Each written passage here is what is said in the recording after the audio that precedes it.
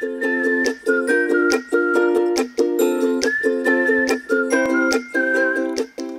today I am going to share with you um, a card I get the most requests as how to make it. Last year in April I featured a birthday card with Thomas the Train for our grandson.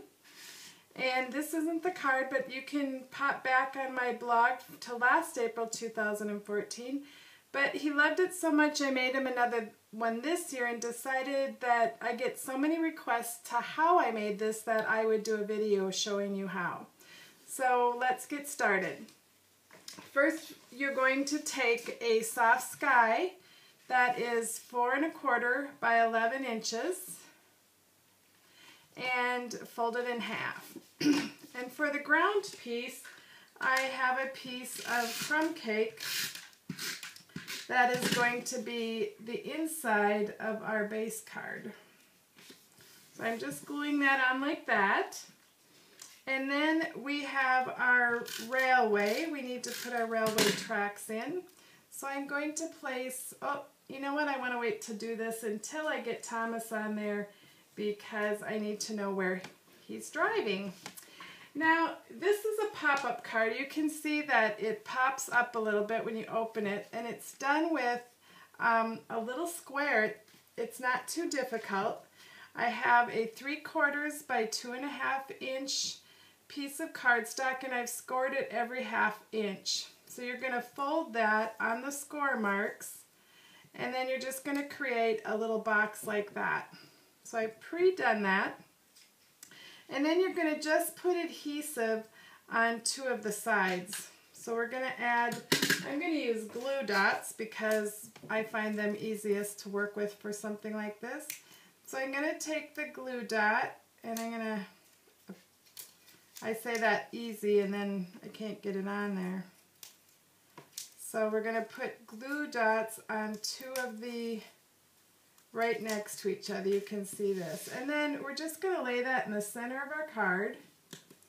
And we're going to close our card. Now it looks real technical, but there we have our little pop-up that we'll hook Thomas to in just a few minutes. So here we have um, the beginning of Thomas's head, but first I'm going to do the, the little uh, main part of Thomas. I've taken a two by three and three quarter inch piece of cardstock like this and I've slid it into my tag topper punch and punched it. So that's going to be the base of our Thomas the Train. Then I've taken a one and a half inch by two and a quarter inch and I have just corner rounded it. I've made the corners like this and we're going to put that um, right about here on our Thomas the Train. I can't remember if I, nope I didn't. Couldn't remember if I put a little dimensional on it. So we're going to stick that right about here. Now there's no, you know, rockets. I don't measure because I'm just, I don't get around to it most of the time. I'm too lazy to measure. And we're going to take our little headlights. Now we have, I have pre-punched these with our owl punch.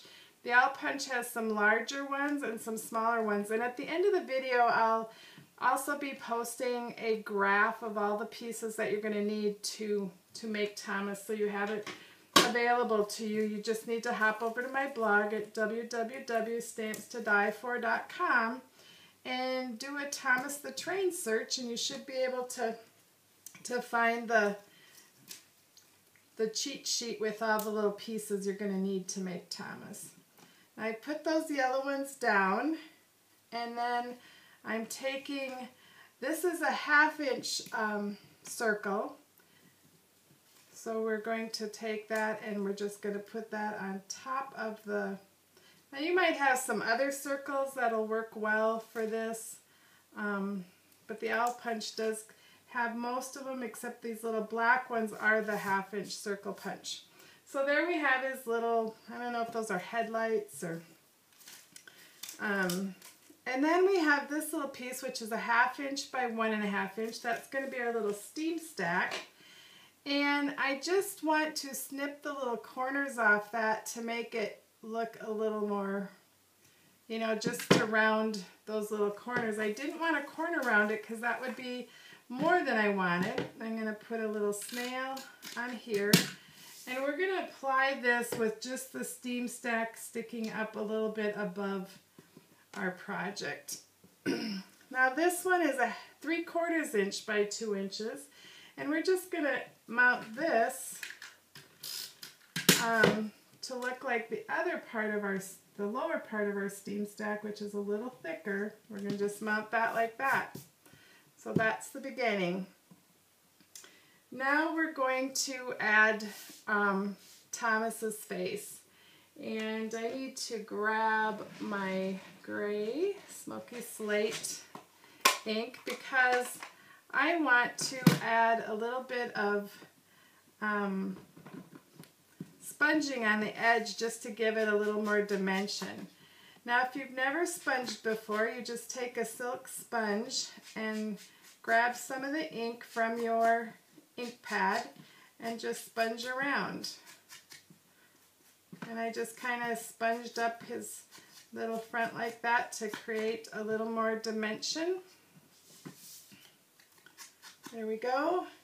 And I have his tiny little nose that I want to, and on this one I think I might just take the little circle and put it on the ink pad directly. I'm just gonna, so that's his nose. I maybe got it a little too much. Maybe I'll sponge it and flip it over on the back. So we're going to put his nose pretty much dab in the center like this. And then also from the owl punch I have have two white whisper white circles that are going to be Thomas's eyes and we're going to just put them up here like this. And this one is going to go here like this. Of course, he needs little pupils, so we have punched out with that owl punch again um, some little black circles from the smaller circles on that punch. See how he starts to come alive? Now for his mouth, here, you could free you know, free cut that, but I took um, a three quarter inch punch and I just did a punch and then I just went down a little bit and punched again. Whoops, it went flying, so to have to do that again. And there we have our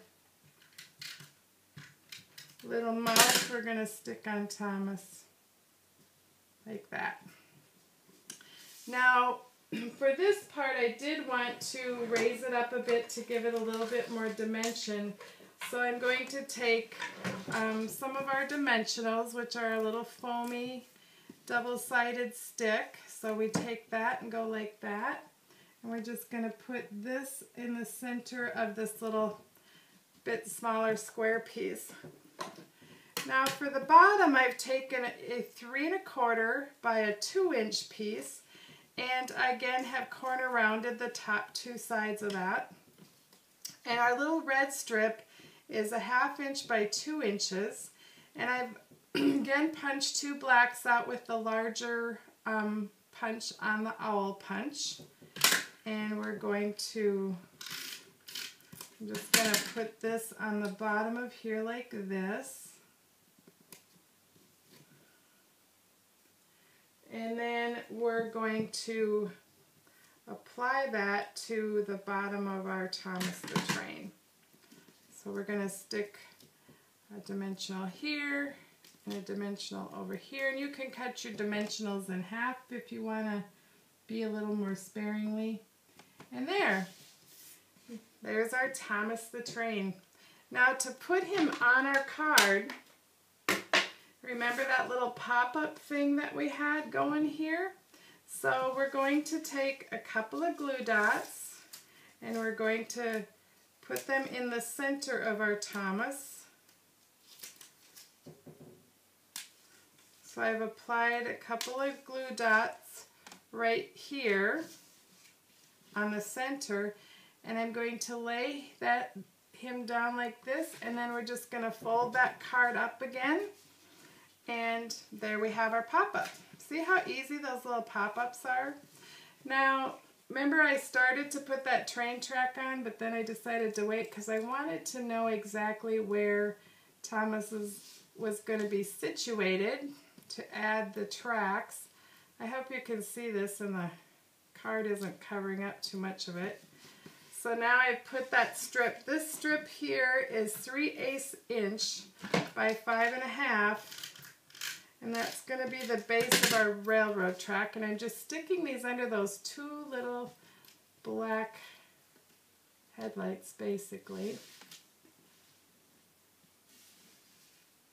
Oops, get that straight. And then we're going to add our track on top of that. So you can see how we're adding the track to get our track. So for the rest of the card, um, I added some little clouds and those I just freeform cut and again I sponged them with some sponge and I laid them on here and then just cut off the excess. So that is our Thomas the Train card and I've added a little designer paper and a little belly band to the front for today's card and he loved it as much this year as he did last year. However, last year he carried the card around for the entire week. This time he was a little more excited about the present that was inside. So I hope you enjoyed today's Thomas the Train pop-up card. Hop over to our blogs at www.stampstoDieFor.com or Allison's at stampcrazywithallison.ca. Hope to see you there. Happy stamping!